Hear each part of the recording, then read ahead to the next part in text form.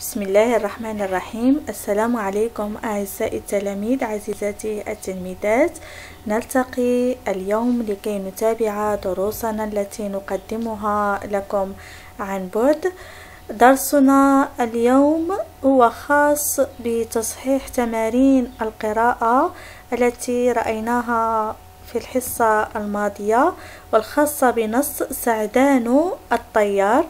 وقبل أن ننتقل إلى تصحيح التمارين نقرأ الكلمات البصرية والتي كنت قد طلبت منكم بأن توظفوها في جمل مفيدة. إذا نقرأ الكلمات مع التركيز البصري عليها. لدينا ذات ثم ريثما صومعة بيئة. إذا صغاري لابد وأنكم قد قمتم بتوظيف هذه الكلمات في جمل مفيدة. الآن سوف أقدم لكم أنا بعض الجمل. إذا لدينا كلمة ذات. ذات مساء سأزور جدتي. ثم أتوضأ ثم أصلي. ريثما. سأنجز واجباتي ريثما تعد أمي الطعام. صومعة صومعة مسجد الحسن الثاني شامخة في سماء الدار البيضاء. بيئة بيئة بلادي بيئة نظيفة. إذا كانت هذه بعض الجمل التي وظفت فيها الكلمات البصرية. ننتقل الآن لقراءة النص القراءة المشتركة والتي تعرفنا عليه البارحة.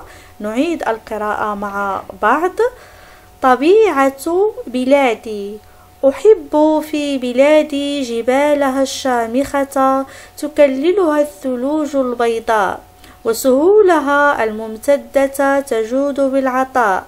أحب أنهارها تملأ سدود الخير والنماء وغاباتها الخضراء تمنح جوها الاعتدال والنقاء وصحراءها تزهو برمالها الذهبية وبحرها يجود بالخيرات. إذا النص هو لمصطفى الصباغ وقلنا بأنه يتكلم هنا في هذا النص عن بلده المغرب. جيد. إذا ماذا يحب الكاتب في بلده؟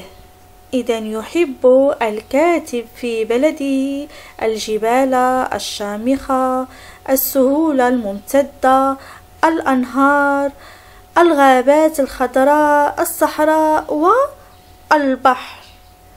إذا هذه هي المناظر الطبيعية التي يحبها الكاتب. لاحظوا هنا لدينا الجبال. كيف هي هذه الجبال؟ جبال شامخة. ما معنى شامخة؟ جبال مرتفعة جيد. سهول ممتدة. سهول واسعة وشا وشاسعة. غابات خضراء. تمنح جوها الاعتدال والنقاء. تمنح. تعطي. وصحراءها تزهو. تفخر بمعنى تفخر برمالها الذهبية. وبحرها يجود بالخيرات. بمعنى يعطي بسخاء. جيد صغاري. إذا ننتقل الآن إلى نص القراءة. لابد وأنكم قمتم بقراءته جيدا وعدة مرات حتى تتمكنوا من القراءة بطلاقة واحترمتم علامات الترقيم كما طلبت منكم. لنلتقي الآن لنجيب عن أسئلة المعجم. السؤال الأول أختار الشرح المناسب. لدينا هنا مجموعة من الكلمات التي كتبت بالأخضر. سوف نختار لها شرح مناسب من الخياران إذا هنا لدينا غزة. هل هي اكتشف أم صار؟ إنها اكتشف. نقوم بوضع سطر تحتها أو بإحاطتها. المهم أن نختار الإجابة الصحيحة والشرح المناسب. قوافل. قوافل هي جماعات. يحج بمعنى يذهب. يحج بمعنى يذهب إليها. لاحظونا في السؤال الثاني لدينا أكمل شبكة المفردات لكلمة طيران. لدينا هنا طيران سنكمل الشبكة. فضاء. أجواء تحليق طيار طائرة رحلة. هذه بعض الكلمات. لابد وأنكم قد كتبتم كلمات أخرى عدة تعتبر صحيحة إذا كانت مرتبطة بكلمة طيران. السؤال الثالث. أصل كل جملة بالمعنى المناسب لفعلها. لدينا هنا ثلاث جمل ولدينا هنا معنى الأفعال معنى الفعل التي تبتدئ به.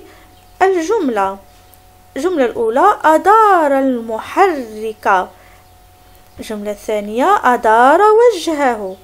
الجملة الثالثة أدار الاجتماع. إذا ماذا تعني أدار في الجملة الأولى؟ جيد شغل في الجملة الثانية أدار وجهه تعني التفت. في الجملة الأخيرة أدار الاجتماع بمعنى سير الاجتماع. جيد. ننتقل الآن إلى أسئلة الفهم. لابد أنكم قد كتبتم الإجابة في دفتر المنزل. إذا السؤال الأول ماذا تمنى سعدان؟ الإجابة دائما تكون بنصف السؤال. ماذا تمنى سعدان؟ نحذف هنا علامة أو أداة الاستفهام. ونجيب تمنى سعدان أن يحلق في الجو. تمنى سعدان أن يحلق في الجو. ماذا رأى في نومه؟ رأى سعدان في نومه أنه يصنع طائرة ولما أنهى صنعها ركبها وأدر وأدار عفوا محركاتها فاندفعت في الهواء كم مدينة حلق فوقها سعدان؟ حلق سعدان فوق ستة مدن وكي نوضح هذه المدن وهي الرباط الدار البيضاء مراكش العيون وادي الذهب والدخلة ماذا رأى في جنوب المغرب؟ رأى سعدان في جنوب المغرب. قوافل الإبل تنتشر في الصحراء المغربية ذات الرمال الذهبية. جيد. إذا هذه هي الإجابة. قارنوها بإجابتكم. أين حطت طائرة سعدان؟ حطت طائرة سعدان في مطار الدخلة. حطت طائرة سعدان في مطار الدخلة. ما الذي أيقظ سعدان من نومه؟ هبت رياح قوية زعزعت أغصان الشجرة فأيقظت سعدان من نومه. إذا هذه هي الإجابة. كما تعودنا في القسم نجيب عنها شفا شفاهيا شفاهيا. إذا ننتقل الآن إلى السؤال الخامس. أضع علامة أمام الجملة الصحيحة بحسب النص. صنع سعدان طائرة حقيقية. قصة سعدان خيالية. إذا قصة سعدان خيالية. وليست الطائرة ليست حقيقية. إذا نضع العلامة أمام الجملة الثانية. كان سعدان يحلم. استراح سعدان في الدخلة. إذا سعدان كان يحلم وضعنا العلامة. في حلمه سعدان استراح في الدخلة جيد. إذا نضع العلامة. ننتقل لكي نتم الإجابة عن الأسئلة. والآن لدينا أسئلة خاصة بالتحليل. السؤال السادس. أضع علامة أمام المدن التي حلقت فوقها طائرة سعدان. إذا هنا لدينا مجموعة من المدن نضع العلامة أمام المدينة التي حلقت فوقها طائرة سعدان.